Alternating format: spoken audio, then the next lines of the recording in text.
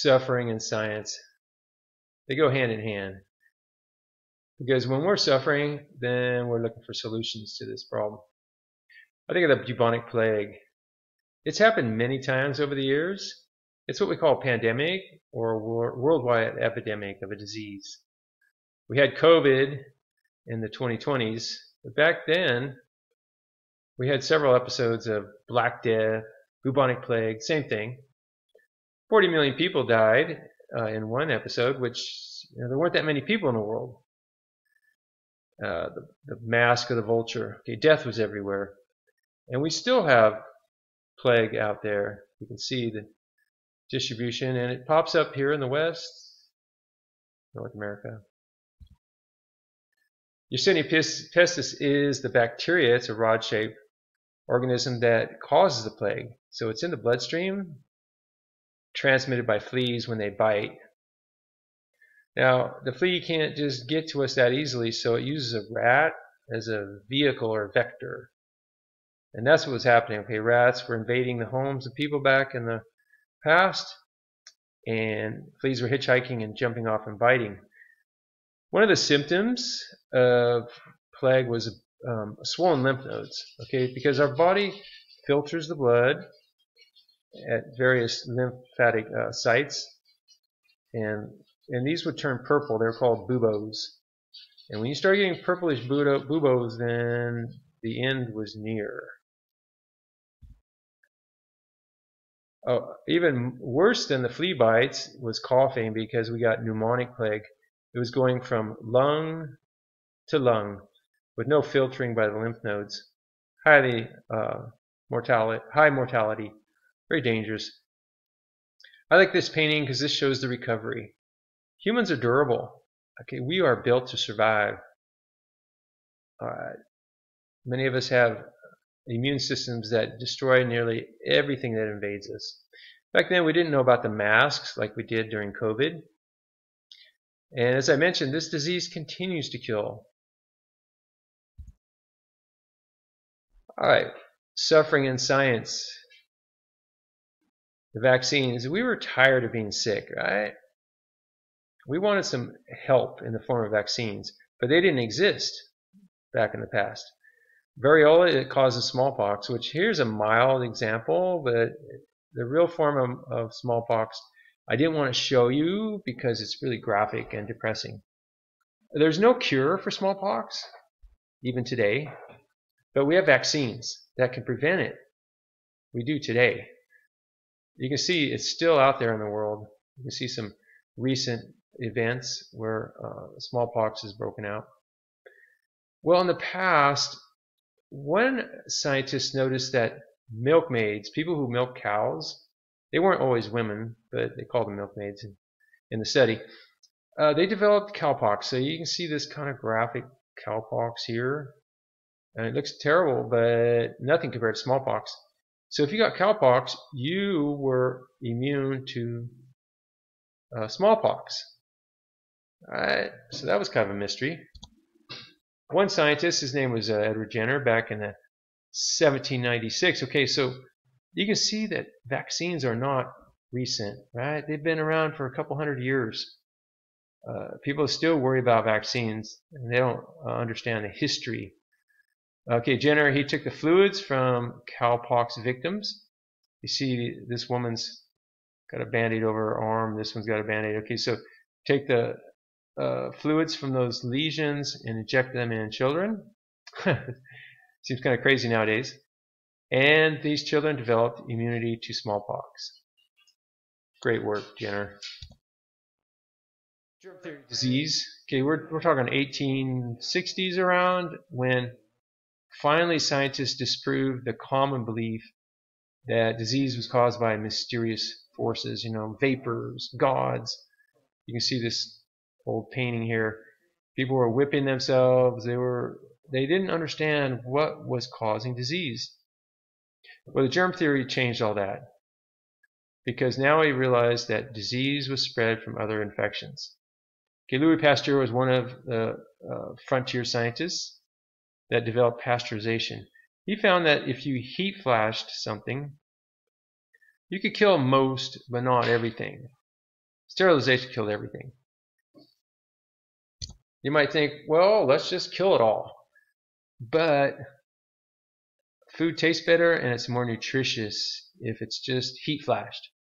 Well, what he did was really cool. Um, he took uh, chickens that had died of cholera he heat flashed or pasteurized. That's how pasteurization got the name from Louis Pasteur. He pasteurized this and he injected it into other chickens. And I tried to draw this little story. It helps when I draw. Um, and then, okay, so th th this chicken did not die because it got the pasteurized virus. And you think, well, okay, yeah, he, he heated it, maybe he destroyed it. But the cool part was, then he injected that same chicken with deadly cholera. And that should have killed the chicken for sure. But it didn't because the heat flash or pasteurized cholera gave it immunity. Right, so we had the first really documented example of vaccines. All right, from this he, he figured out, okay, if you alter the form of an organism, it can give some protection. And vaccine, the word vaccine comes from vaca. Vaca means cow, and you might guess it originated from the cowpox. Um, it was the early one of the earliest uh, works with vaccines and Jenner cowpox. Okay, cholera has not gone away. It's all over the world wherever drinking water is contaminated by human feces. Okay, even though we know about it, it's hard to control. It swims. The bacterium actually can swim in water. Robert Koch in the uh, mid 1800s is like a competition between these scientists. He worked with anthrax caused by Bacillus anthracis. Uh, it was killing humans and livestock all over the world. And one of the symptoms of it was uh, internal blood loss or hemorrhaging. In fact, anthrach means blackened because when blood is exposed to um, the air, it, it turns black after a while. You can see these lesions on the arm. Uh, we didn't know the etiology or the cause of this disease. Uh, we just burn, we'd burn whoever died of, of anthrax, just, and we knew that worked.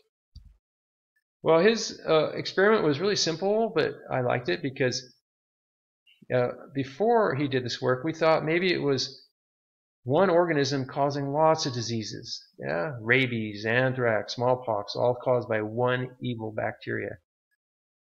So he took a mouse that had died and he looked at the blood and he saw these rod shaped bacteria. We know these are called bacillus. And then he took these bacilli bacteria and injected them in healthy mice. They died of anthrax. And there he saw the same rod shaped factors. I tried to draw this little story. Um, and so we came with the one organism, one disease. Okay. So each type of disease is caused by one specific type of microbe. It wasn't a it wasn't one evil microbe causing lots of diseases. You know, Bacillus anthracis is still around. We have um, agreements all over the world that we won't use it as a bioterrorism weapon but some people are still secretly doing it. It's a good weapon, or I should say a bad weapon, because you can breathe it in, you can touch it and get it, or you can swallow it. And it's, it's highly fatal. Hand washing. Uh, you might think, well, of course.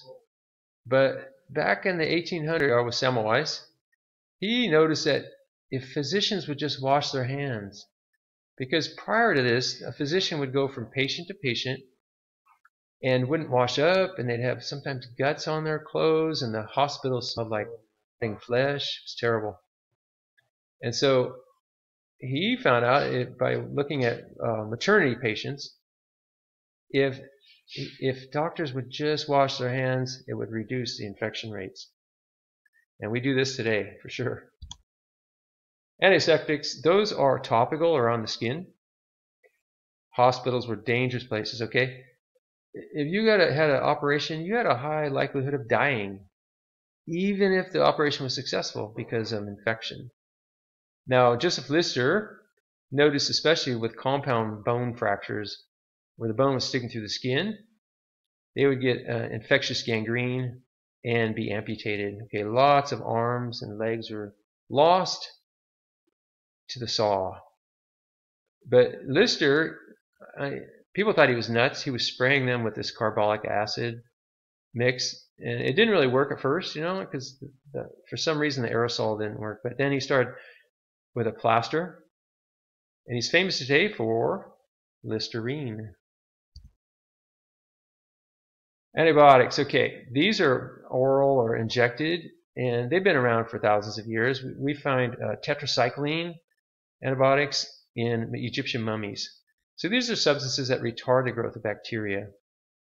Fleming found this out when he was working with uh, Staphylococcus. He goes, whoa, the bacteria can't grow near this mold. And from this, we got penicillin from the mold penicillium.